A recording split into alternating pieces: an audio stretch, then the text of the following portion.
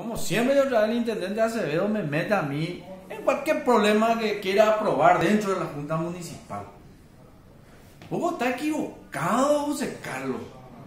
¿Qué interés, amigo? Ya yo por ahí te digo, será. Nosotros trabajamos, hacemos las cosas y llevamos adelante el sector privado, tenemos funcionarios, mantenemos, vos sabés, no vaya a querer meter cualquier cosa para que quieras aprobar un loteamiento y empezar a decir disparate y tratar de menospreciar a la gente. Aprender a respetarle a tu junta, a respetarle a las mujeres y aprender también, amigo, a mirar si vos hiciste mal tu trabajo. Acá por lo que según yo entiendo y veo se está queriendo chupar 180 terrenos. Eso es lo que está queriendo hacer. En vez de darle a gente pobre, a gente que vaya a instalarse y que pueda, amigo, eh, edificar para su casa.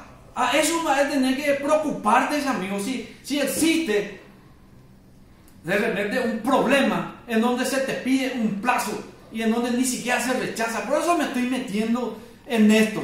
Porque no, no estoy para hablar, pero escuché la exposición de Lourdes y fue una flamante exposición y hizo bien su trabajo, amigo. Y vos estás acostumbrado a que la gente te alce la mano y te aplauda. Dejate nada de joderse, amigo, de querer hablar de la gente. Ya tu recaudador Cantalubio una vez dijo en la radio todo lo que hacía para vos. Entonces no vaya a querer tirar la pelota hacia otro lado o usar tu medio de comunicación o tu radio. Igual nomás podemos usar las redes sociales, amigo. Igual nomás la gente va a saber la verdad.